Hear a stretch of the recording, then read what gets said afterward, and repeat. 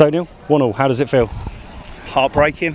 I know, I know we're, we're only minutes after kick-off, and it all happened in the last five minutes. Talk us through it. Yeah, I mean, um, I thought we were excellent, especially second half. I thought we asked loads and loads of questions of Eastbourne. I thought their keeper was magnificent, uh, made some great saves, and thought they defended well. Um, maybe a couple of couple of times we should have done better. I think Tulks had a great chance. Wells he's had a, a great header. Um, um, but on a, a, really really hot day, uh, having played on Saturday, uh, literally having 48 hours turnaround, I thought we were magnificent and. Uh, and we kept on going. We kept on going. We, we, we, we, sent on attacking players. We were very attacking at the end. And yeah, once once again you changed. Last three games, you've you've taken some offensive, you know, substitutions and, and really grabbed it by the scruff of the neck. At one point, you looked like you had five, six forwards on. Yeah, uh, listen, we we know we knew that we had to win win games of football the last few weeks, and it becomes very different than probably earlier on in the season when you know you don't want to lose points. Um, you know you want to you want to try try and win the game, and that's exactly what we've done for the last few weeks. And as I say, I think our lads have been brilliant. Um, How much did the heat affect the match today?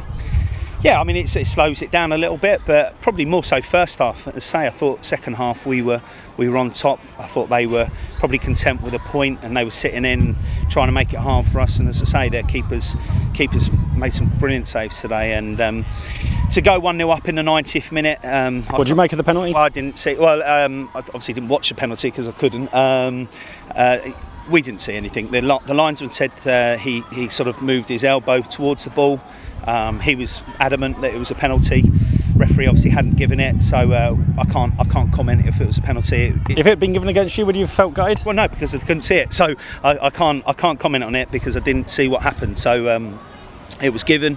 Uh, Billy stepped up and say I haven't watched the penalty, and and then. Um, you know we've, we've got to try and hold hold out for six minutes, and unfortunately it's just not happened. You know I think they've uh, just got one one in over the top and just got in, and the lad sort of just got there before Jack, and he's sort of made the save, and it's fallen nicely to the lad, and it's uh, it's absolutely heartbreaking. Obviously Billericay have lost the the game as their game as well, which um, would have meant that we were going into the last game, you know, a point off the playoffs, which is just a remarkable remarkable achievement from the from the lads to be honest from from where we were um, probably six to eight weeks ago um, people were saying that you know our players were, had given it up and, and we were going to sort of coast through to the end of the season. And we're nine unbeaten now we've won six and drawn three. I mean that's that's title winning form and it's just a shame it it didn't maybe start a week or two uh, too earlier. Um, was a draw a fair result today? No no not at all. I think we fully deserved to win the game. Um, I can't imagine that they would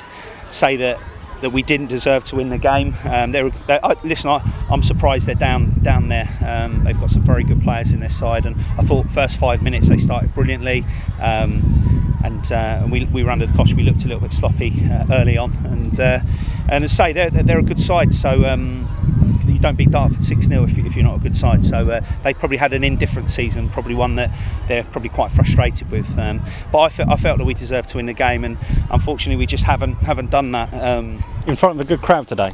Yeah, I don't know what was the crowd today. I think 905. Okay, so yeah, you know ideally we're, we're, we're, we're trying to push this place to try and get to a thousand and you know um, it's, uh, it's something that we've been trying to do for the last couple of years and it'd be great if we can get ourselves up there. But no it's a that's a good crowd uh, today. And yeah just a tinge with disappointment really because it, it, would have been amazing to take it into the last game at Truro um, uh, and uh, have that possibility of, of playoffs in your first year. But let's let's let's be honest. We've we've had a another brilliant FA Cup run, second round proper. Um, we've we, have we have gone very very close in the league. We've not been embarrassed at all all season. Uh, I think we've given everyone a game. Uh, we've got the vast majority of the players agreed to stay for next season, and we're looking to add one or two, or maybe two or three to that. Um, and we want to we want to try and push on. Uh, I think we've we've proved that we can string uh, performances together, and uh, that we can be hard to break down. And and uh, yeah, just uh, I mean, it's so raw raw now. Um, we were literally a minute minute and a half away from from taking it to the last game of the season. And who stood out for you today? Who who shone in the rebel shirt? Listen, I, I just think uh, I, I, don't really want to pick anyone out individually. I think uh, as a as a side, again, uh, in unbearable conditions, people don't sometimes understand how how hard it is to play the type of tempo football that, that the players play um, in this this heat, and, and with the 3G, it, it burns your feet. We've got Togs brought off again for his feet. yeah, he's got blisters. I mean, we've got probably five or six in there that are running with huge blisters on their on their feet, um, in absolute agony probably. And uh, um, but massive credit to them. They just kept on going, and uh, and on another day we're we're, we're celebrating three points and and uh, taking it to the to Truro. But not to be. Um, however, we've got to now be professional. Um, go to Truro, try and get try and get the result to. Um, finish as high as we can, and and then hopefully uh, um, uh, a, a cup final uh, on Bank Holiday Monday. And a big long day out there. You're hoping for a few rebels down there. Buy them a pint.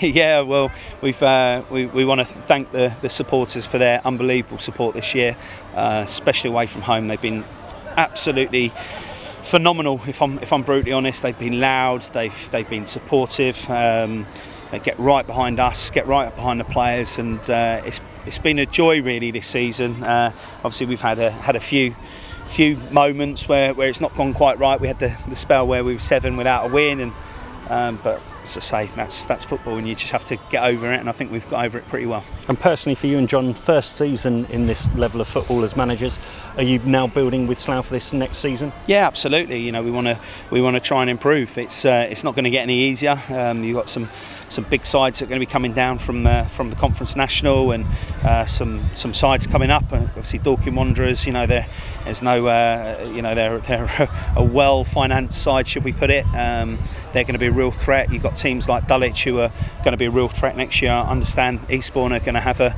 a substantially different budget next year, and, and they're going to be a threat as well. And there's going to be a it's going to be a really really tough year next year. I think there's only two go down. Um, first and foremost, we've got to start and and, um, and try and make sure that we we we get wins on the board early and, and, and then we'll see where we go. But no, looking forward to it already. Um, Not looking forward to the break? I never look forward to the break. Probably I've, I've about hol- one, one or two holidays, and uh, but you, are always on the go. And uh, myself and John will be, be busy. And uh, but so we've, we've done we've done quite a lot of that work before the end of the season. Looking for some additions to bring into the squad, Yeah, yeah, talking yeah. to players. Yeah, yeah, we've already started doing that, and uh, uh, obviously nothing much will happen between uh, over the next sort of few weeks because people are finishing off their seasons. But no, we're we're, we're, we're actively. Actively busy, and uh, yeah, we, as I say, we just want to improve. Uh, I think as a club, it's just gone from strength to strength. Uh, it's a wonderful club. I love, we love being here. Uh, Steve is just absolutely a, a, dream chairman. Um, unfortunately, there's people like yourself that we have to deal with as well. Um, but no, it's, it's, it's fantastic. Uh, great, great volunteers. Um, it's a real family feel, and uh, yeah, we absolutely love it, and uh, we can't wait. Cheers. Thanks for your time, Neil. John, thank you.